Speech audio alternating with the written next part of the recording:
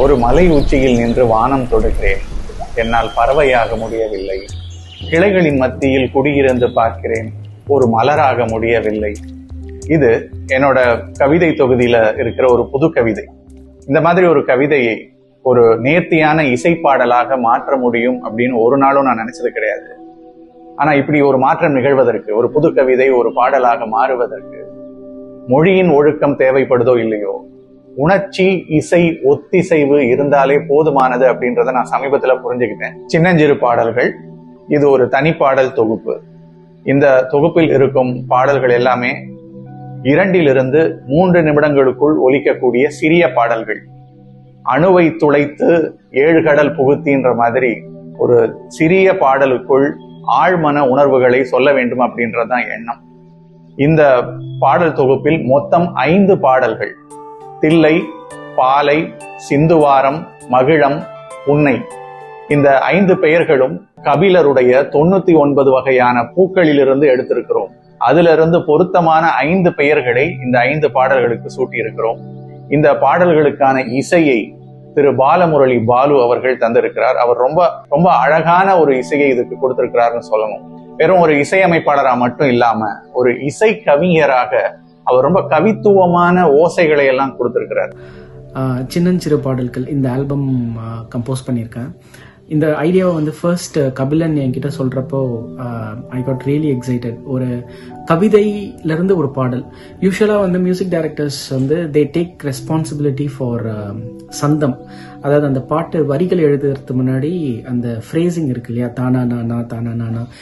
இது வந்து old school technique இப்போ நாங்கள் பண்ணியிருக்கிறது அந்த காலத்துலலாம் என்ன பண்ணுவாங்கன்னா அந்த சந்தம் வந்து மியூசிக் டைரக்டருக்கு சொந்தம் கிடையாது. அந்த காலத்தில். சந்தம் வந்து லிரிசிஸ்டுக்கு சொந்தம். ஸோ லிரிசிஸ்ட் வந்து ஃபஸ்ட்டு ஒரு கவிதையை எழுதிட்டு அந்த கவிதையை வந்து எடுத்து மியூசிக் டைரக்டர் வந்து டியூன் போடுவாங்க. ஸோ அந்த மெத்தடில் தான் இந்த ஆல்பமே பண்ணியிருக்கோம். இந்த பாடல்களுக்கான ஓவியங்களை திரு ராமமூர்த்தி அவர்கள் வரைந்திருக்கிறார். ஒவ்வொரு பாடலையும் உள்வாங்கி அந்த அந்த பாடலுக்கு தேவைப்பட்ட ஒரு ஒற்றை ஓவியத்தை மிக அழகாக அவர் வரைந்து கொடுத்திருக்கிறார். ஃபுல் ஆல்பமே பார்த்தீங்கன்னா ரொம்ப மெல்லோ டோன்ஸ் ரொம்ப வந்து அப்படியே இதமான ஒரு ப்ரீஸியான டோன்ஸ்லாம் வச்சு வாய்ஸ்க்கு வந்து முக்கியத்துவம் கொடுத்து அந்த லிரிக்ஸ்க்கு முக்கியத்துவம் முக்கியத்துவம் கொடுத்து அந்த சென்டரில் அந்த spacing between voice and instrument அது வந்து பிளான் பண்ணி டிசைன் பண்ணி பண்ணோம் இந்த ஆல்பமுக்கு இந்த பாடல்களுக்கான வடிவமைப்பை லிரிக் வீடியோஸ் இது எல்லாத்தையும் ப்ரொஃபைல் மேக்கர் மிக அழகாக செய்திருக்கிறார்கள். ஸோ நானும் கபிலனும் சேர்ந்து போட்ட இந்த உழைப்பை இன்னும் அழகாக்கின இந்த ஆல்பத்தை வந்து இன்னும் பொலிவாக்கின அவங்கள பற்றி பேசியே ஆகணும். அதான் நம்ம ஆல்பம் ஆல்பமில் பாடின singers and musicians Bhuvana Anand Ramya Ramkumar Shobika Murugesan Aditi Bhavaraju அப்புறம் ஃப்ளாட்டிஸ்ட் சூரஜ் சங்கர் அப்புறம் ஒரு new talent Ramnath Bhagavat. So இவங்க எல்லாருமே வந்து amazing amazingly talented musicians I am really happy இந்த ஆல்பமில் வந்து அவங்க கூட கொலாபரேட் பண்ணதுக்கு.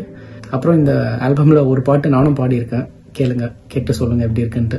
இன்னைக்கு இருக்கிற பரபரப்பான வாழ்க்கை சூழலில் பல்வேறு போராட்டங்களுக்கு இடையில் இந்த ஒரு பாடல் தொகுப்பு ஒரு மெல்லிய உணர்வை ஒரு ஒரு மெல்லிய ஒரு இனிமையான அனுபவத்தை உங்களுக்கு தரும்னு நான் நம்புறேன். ஒரு ஒரு சாலையோர தேநீர் இடைவெளி மாதிரி ஒரு மழைக்கால ஜன்னலோரம் மாதிரி எங்கிருந்தோ வந்து நம்ம கண்களை வருடிட்டு போற ஒரு பூங்காற்று மாதிரி சின்னஞ்சிறு பாடல்கள் உங்கள் நெஞ்சம் நிறை பாடல்களாக இருக்கும்னு நான் நம்புறேன். சின்னஞ்சிறு பாடல்களின் முதல் பாடல் தில்லை வருகிற பிப்ரவரி மாதம் முதல் வாரத்தில் வெளியாகும்.